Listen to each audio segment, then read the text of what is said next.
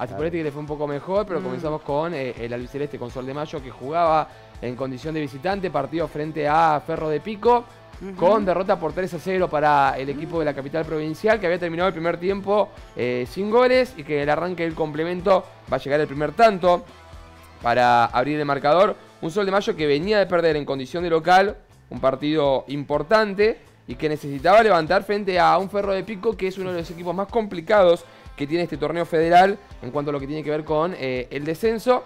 Y esta derrota no ayuda en nada a los equipos rionegrinos.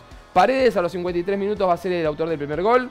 Cuello a los 63 de penal, precisamente que estamos viendo, va a ser el que amplíe el marcador. Y a los 73, cada 10 minutos marcaba goles. Eh, el equipo de Ferro, decíamos a los 53 el primero, a los 63 el segundo. Y a los 73 va a llevar eh, Rivero Sosa para marcar el tercer tanto. Goleada entonces del equipo de Pico, que, insistimos, necesitaba sumar de a 3 para desprenderse de la zona de descenso. Y este resultado complica el mismo Sol de Mayo. Y por el otro lado, bueno, Cipoletti con esa victoria importante que consiguió fuera de casa eh, termina siendo un alivio porque eh, las victorias del equipo verde allí eh, de Pico empiezan a complicar a todos los, los regionales excepto a Deportivo Rincón que ya la fecha pasada se desprendió de la zona de descenso y con la victoria de este último fin de semana ya empieza a soñar en grande con meterse en la zona campeonato. Nos vamos a hablar ahora de Cipoletti que jugó en Mendoza, fue eh, en el equipo, esto fue en la previa, mirá, feliz día del niño, te estamos esperando, Loan, era la bandera que estaba en la Mira, tribuna. mira, comprometidos con la, con la Sí,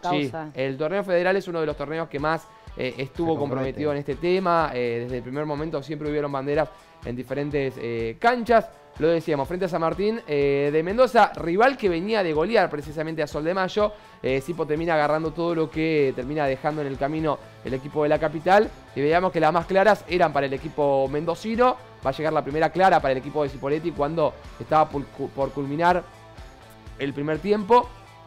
Y una, una eh, eh, no sé si casualidad o en realidad una, una situación que no es normal que eh, el central logre marcar en dos partidos consecutivos y al mismo tiempo le dé dos victorias consecutivas a, a un equipo como sí ocurrió con Cipoletti, que Tello venía de marcar el otro día la visera de cemento, en la victoria 1 a 0, y volvió a marcar el gol del triunfo para el equipo albinegro en lo que fue esta victoria por 1 a 0 también en condición de visitante. Va a llegar el gol, el pase atrás, aparte cómo llega, porque una cosa es el, eh, un gol de pelota parada para un central y otra es llegar al área de la manera que llegó, desde la media luna, el remate que se termina desviando, termina siendo con fortuna para el equipo cipoleño y la victoria 1 a 0 entonces Tello con un nuevo tanto muy gritado obviamente desde el banco de los suplentes. Era un triunfo que necesitaba Un grito de alivio, ¿no? Y porque le ha costado mucho en el torneo ganar en condición de visitante. Le ha costado mucho ganar en realidad. Mm. Ni hablar los partidos fuera de casa. Esta va a ser la última del partido. Reclamaban penal los, eh, los- el, el equipo mendocino, el equipo local.